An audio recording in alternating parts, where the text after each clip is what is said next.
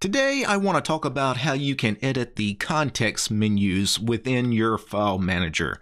Let me switch over to my desktop and I'll show you exactly what I mean. I'm going to open up the file manager on my system is PCManFM. And if I go uh, into one of my directories here, this is my GitLab repos directory. It has all of my GitLab repositories cloned here on the system, but if I right click on something, whether it be a directory or a file, I get a menu with various things I can do, in this case, with this particular directory or with this particular file. You know, it tells me all the various programs I could open this particular log file, which is a plain text file. So, you know, I get all the text editors on my system, you know, as possibilities of things I could open that file with. If it was a MP3, all the music players would probably be listed in that context menu, uh, open with, you know, things like Rhythmbox and DeaDBeeF and MPV and VLC, anything that can play music would be what would be in that context menu. Sometimes, though, you want to be able to add your own custom actions to these context menus in your file manager. And that's what we're going to talk about today. So the first thing I want to do is let's go over to the Arch Wiki because anytime you're interested in how to do something, obviously you need to read the documentation, right? This is one of the things people need to get in the habit of just going and looking up the documentation. So if I want to do something with PCManFM, for example, I searched for PCManFM here in the Arch Wiki. And if I scroll down, there is a little subsection here, adding custom items to your context menu. And they even have an example piece of code here.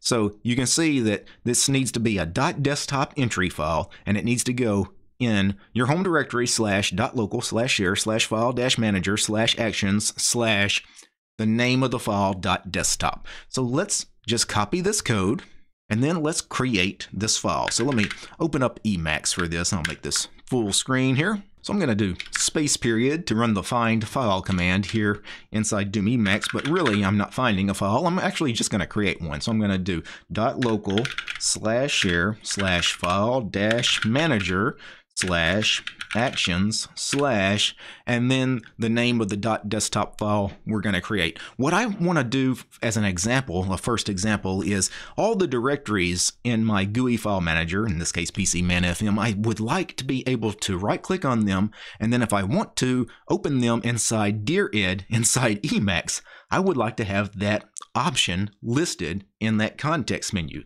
So I'm going to call this Emacs DIRED dot desktop and it's going to ask me do I want to create the file and all the directories as part of that path? Yes. And now let me go ahead and paste the example code that we got from the Arch Wiki. So now I just need to go in here and edit some values. The main one is the name. This will of course appear in our menu so the name of this will be open in Emacs DIRED. Uh, that will suffice uh, for the description. And then this here is another name, so you can have multiple names in various languages if you want it to be uh, compatible for languages other than English. But for me, I don't need to do that. And then we need to set an icon, and in this case, pretty much every standard icon set has a Emacs icon, so just Emacs should work for us here. And then the MIME type. So we need the the the file type, right? The MIME type of these files. For example, if I wanted this to only appear on audio files, then I would go in here and I would have to get the the MIME type of all the audio files, which I believe typically are things like a uh, audio MPEG, for example, for MP3 or uh, audio FLAC. Uh, I could be a little wrong on this. If you're ever confused about exactly what the MIME type or something is, you can actually get that information from a terminal. Let me open a terminal, clear the screen. Let me show you this. There's a very simple way to do this on Arch. The first thing you need to do, you need to install this package here. You need to sudo pacman dash capital S perl dash file dash mimeinfo.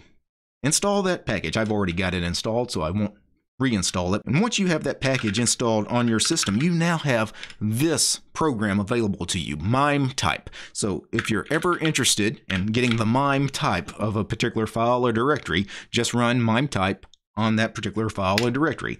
For example, my bash RC, what's its MIME type? It's text slash plain. It's just a plain text file. If I want to know what the MIME type of a directory is, I'm just going to run MIME type on period, which is, of course, alias for this directory, right? The directory we're in. It's inode dash directory. And because we only want to open directories in Emacs DIRED, That's exactly what I needed here. I need inode dash directory for the MIME type. And then what we need to do is we need to go ahead and give it a command to execute. So what is this action actually going to do if we choose it? Well, it needs to open this current directory, right? The, the directory we, we chose, it needs to open that in Emacs DIRED. And I'm going to use the Emacs client. So I use Emacs client space dash C, so open it in its own Emacs window, not in an existing Emacs window that maybe I'm already working in. Dash A for an alternative editor. If the Emacs server has crashed, Emacs client will not be available for us. So an alternative editor you could use is simply Emacs, right? The non-server uh, client Emacs. And then what I want you to do is after you've launched the Emacs client, I want you to do dash dash eval.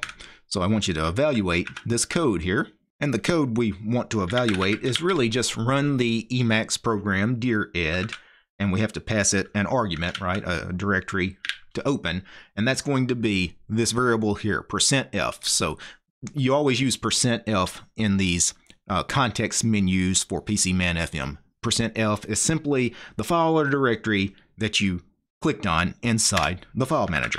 Now let me write that. And if I did this correctly, now let me launch PCManFM. I'll once again go to my GitLab repos.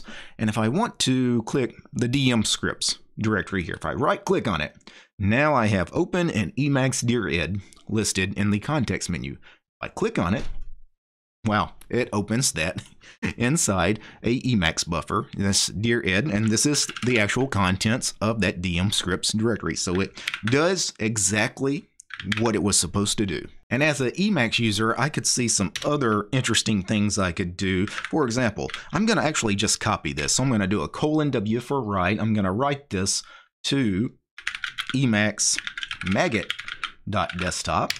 Now when I do find file, I have Emacs Magit.desktop.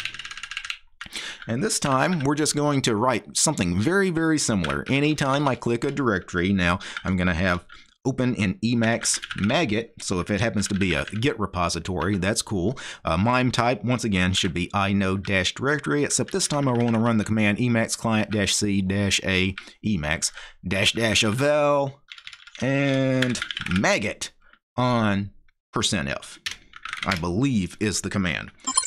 So let's actually try that out because I could have got that command wrong. I don't use Magit inside Emacs that often, but if I right click on dmenu-distrotube, open in Emacs Magit, let's see if that actually works. It does. It opens that Git repository that's locally on my system. It opens that in Magit. Very cool. One interesting thing that I think a lot of people would probably find useful is being able to open a certain file or a certain directory maybe on your system as root, you know, with sudo privileges. So once again, I'm going to do a colon W to just copy this file. So I'm going to write and I'm going to do open as root dot desktop. And now let me switch over to that file. And now that I think about it, I think instead of opening a terminal, you know, in the current directory as root, I just want to open another instance of pcmanfm as root.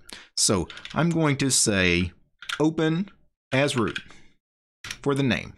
The icon can just be the pcmanfm icon in this case.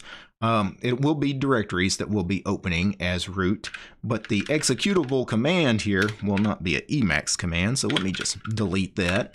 And I think the way I want to do this as far as getting sudo privileges is gksudo, which is a graphical box that will appear asking you for a sudo password.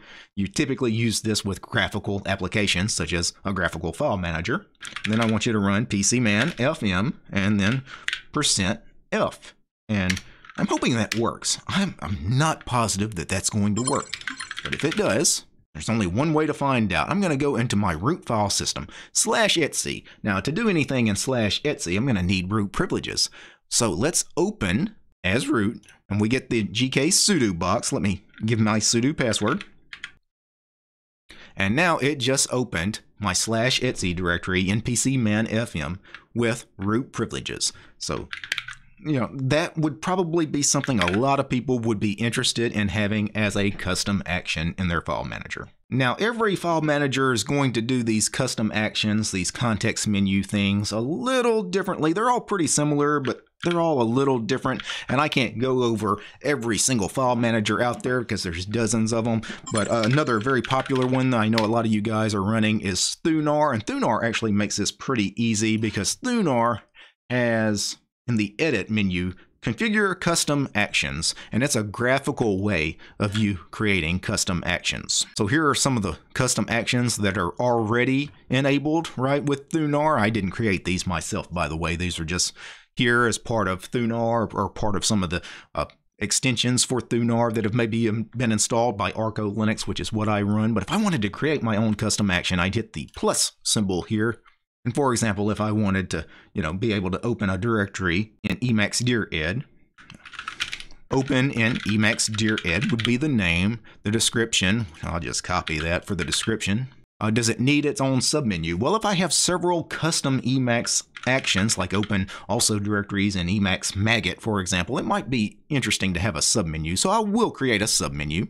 And then we need to create the command and the command I'll just paste from earlier what I used in PCManFM because it uses a similar format except the percent %f is the path to the first selected file or directory. Yeah, that, that's the one we want, but there are some other variables you can use with Thunar that are not available with PCManFM, but I think this is the one I actually need. So let me hit OK there is open in Emacs DIRED. Um, it didn't ask us about an icon. So let me actually go back. No icon. So let me click on the no icon button. And I would actually have to search for a Emacs icon here. Just use the first one there.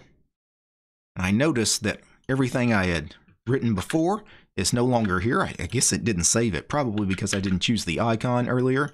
But let's go ahead and I'll put everything back. Open in Emacs DIRED.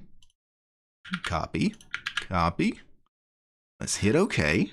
Close that. And now when I right click on a directory, let's make it one of my GitLab repos. If I right click, I should have had that Emacs subfolder here, but may need to restart. You can tell I don't use Thunar that often. Uh, there's another tab here, uh, other than the basics, which is all the stuff you've already seen me fill out, appearance conditions, and file pattern range, that could be anything. The uh, It appears if the selection contains directories, right? So this is all we want this to actually be available in. So that is the reason. And now let's restart Thunar. And now if I go onto a directory and right click on it, now I have this Emacs subdirectory. It says open and Emacs DIRED. So let's see if that actually happens. It does.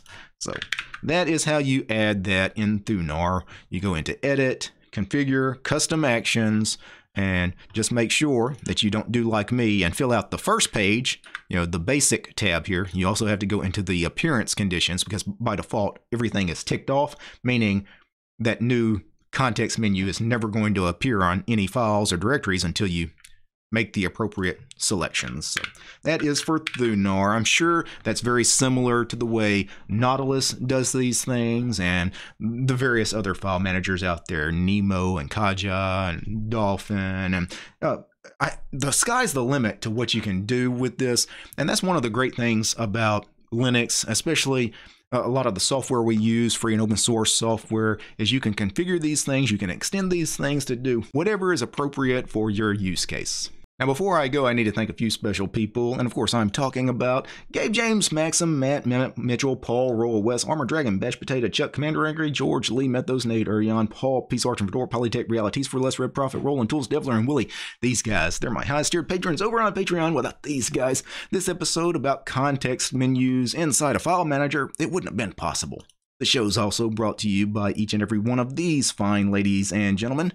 All these names you're seeing on the screen right now, these are all my supporters over on Patreon. I don't have any corporate sponsors. I'm sponsored by you guys, the community. If you like my work, want to see more videos about Linux and free and open source software, subscribe to DistroTube over on Patreon. Peace.